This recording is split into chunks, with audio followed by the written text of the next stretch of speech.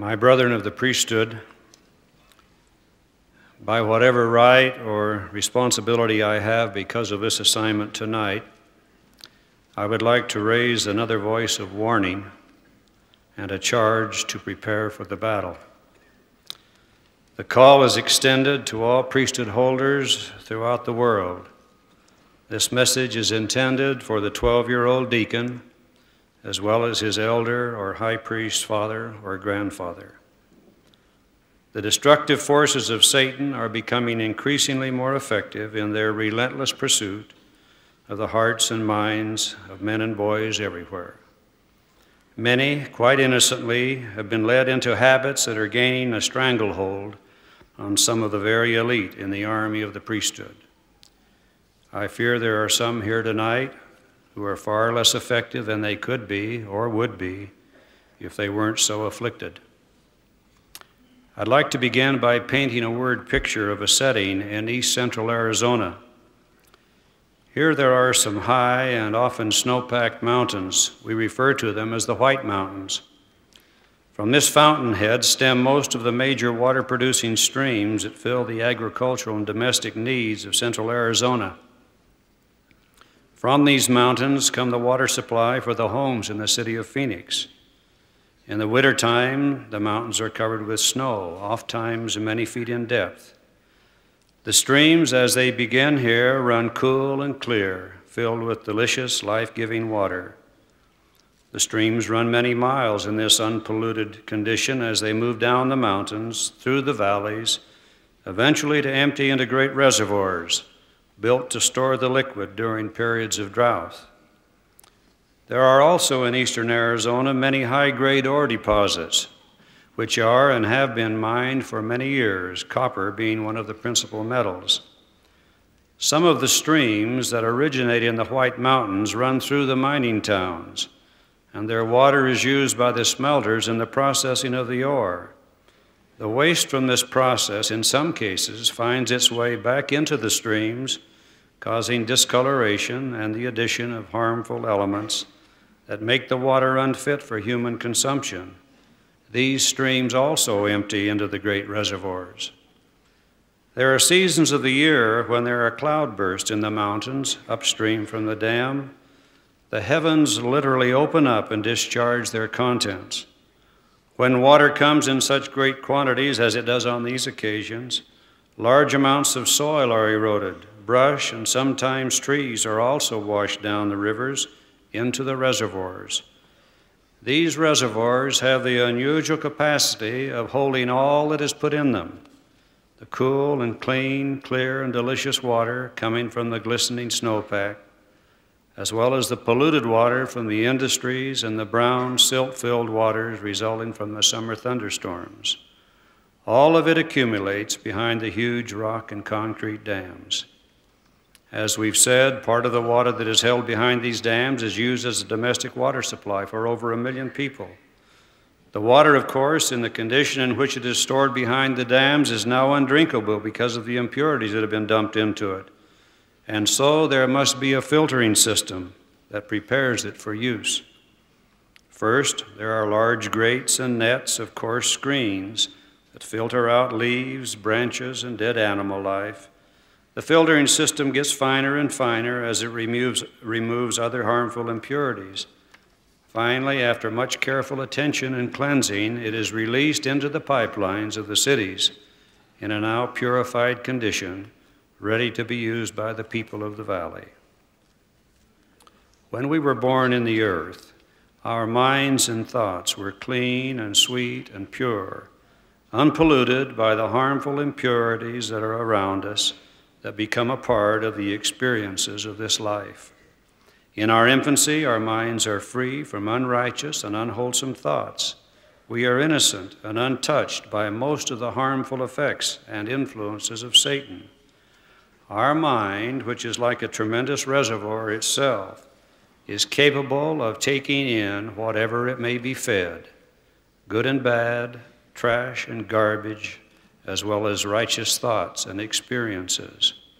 As we go through life, we may be exposed to stories, pictures, books, jokes, and language that are filthy and vulgar. or to television shows and movies that are not right for us to see or hear. Our mind will take it all in. It has a capacity to store whatever we will give it. Unfortunately, what our mind takes in, it keeps, sometimes forever. It's a long, long process to cleanse a mind that has been polluted by unclean thoughts.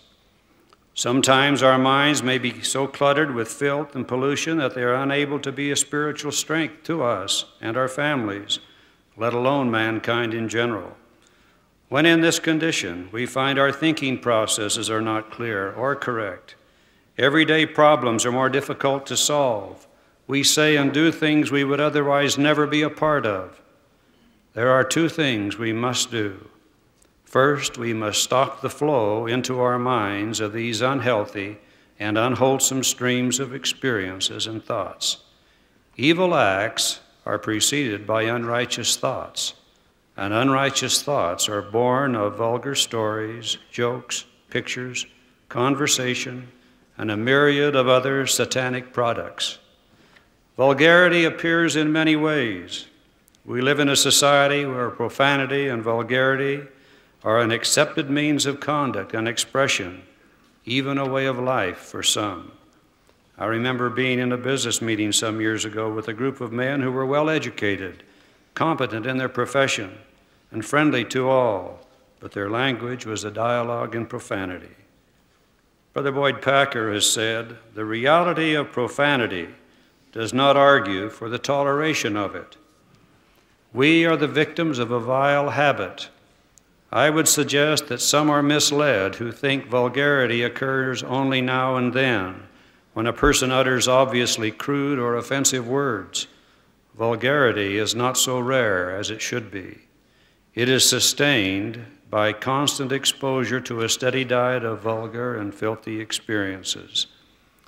We might consider vulgarity in a couple of ways. First, as an expression of personal weakness, and second, as a contribution to personal weakness. Some demonstrate or express a personal weakness when they tell jokes or stories about the body and its functions, when they joke about or make suggestive comments concerning women or girls, when they are casual about sacred things. There is vulgarity when some speak crudely of body parts or sexual matters. Too often, common slang, even gutter terms, are used by brethren of the priesthood. Oftentimes, anger is used as an excuse for such utterance. This is wrong. No one need swear or be vulgar at any time. Some contribute to this personal weakness when they read or experience filthy magazines, vulgar movies, or television shows, or remain in a group where unclean discussions occur. Each of these kinds of experiences will weaken any spirit, will make it less able to withstand the fiery darts of the adversary. Now, brethren of the priesthood, we should, there should not be any X or R rated movies that we participate in viewing or talking about. There must be no pornographic magazines, pictures, or stories, no retelling of filthy jokes or crude experiences. Once in a while, we should stop and ask ourselves in whose army are we fighting? Whose battle lines are we defending? Do you have the courage to walk out of an off color, PG rated movie? Or do you watch and listen and suggest to yourself, this soon will pass, or everyone is doing it, it must be an acceptable type of entertainment?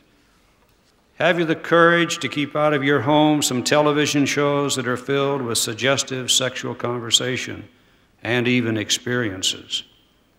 Have you thought lately how effective these shows are in piercing the strongest spirits?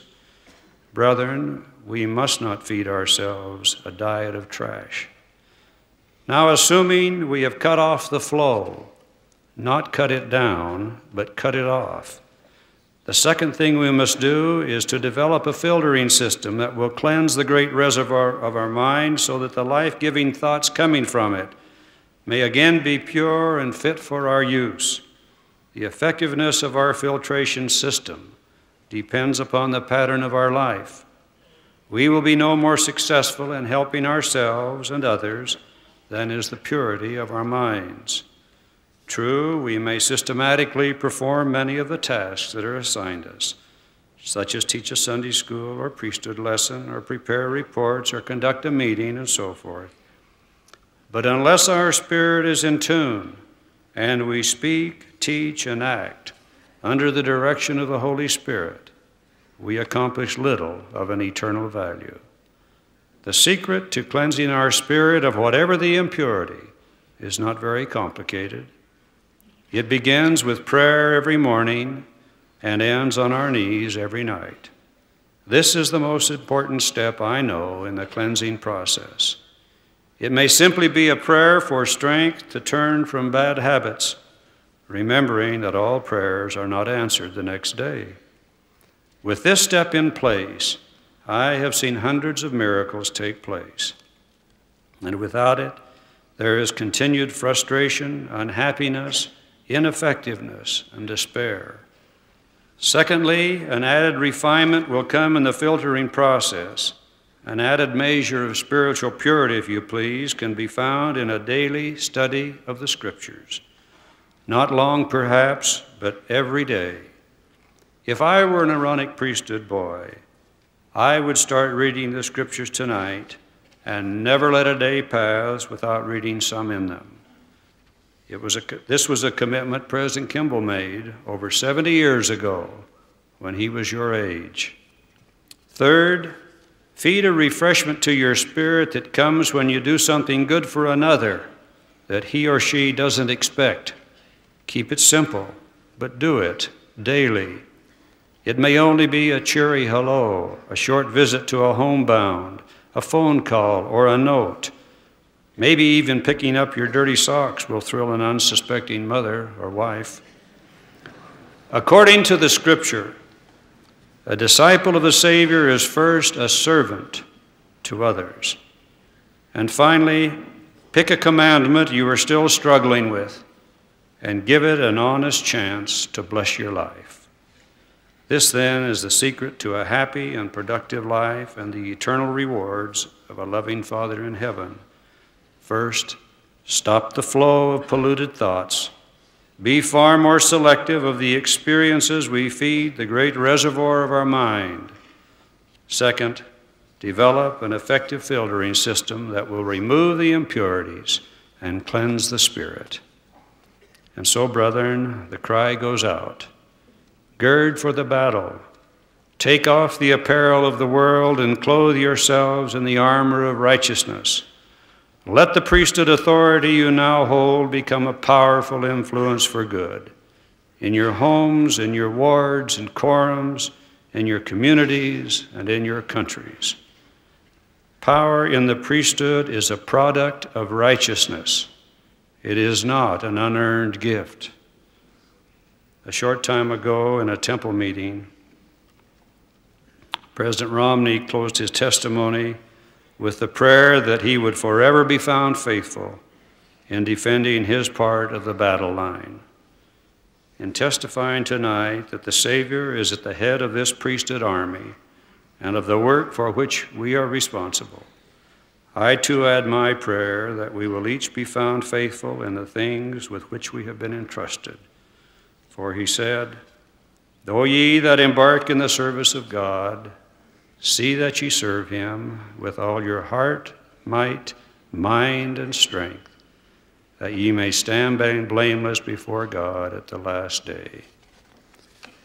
My brethren, as your friend and brother, I plead with you to prepare as you have never prepared before. In the name of Jesus Christ, amen.